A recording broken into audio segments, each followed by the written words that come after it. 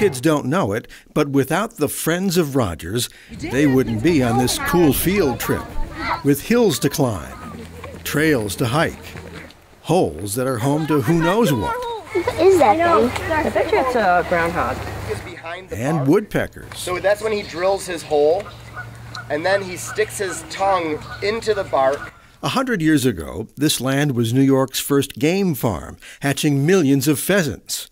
During the Depression, the Civilian Conservation Corps, camped just up the road, planted and sculpted the farm's bare fields into the familiar Rogers landscape. When the state quit the pheasant business, local volunteers led by the Rotary Club pushed for a nature center.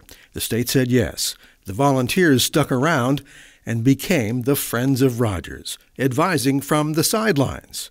Then, five years ago, state funding suddenly dried up. The Friends stepped up front and center. The Friends of Rogers just taking the willingness to step in and, and really to try and manage and operate this place.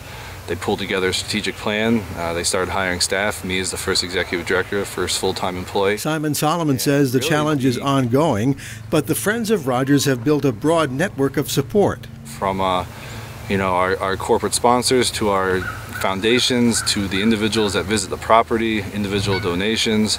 Uh, everyone's really pulled together and, and just put forth the effort to try to pull this place together and, and get it funded by a, local organization.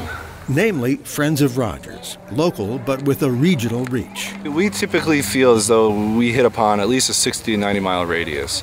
That's not to say that we don't have people that come up from, from Pennsylvania for the, for the day. It's just south of Binghamton, um, western New York, and then families that come back for visits. You know, we have people from California that sign the guest book. 16,000 came last year, up from 6,500 the year the Friends took over.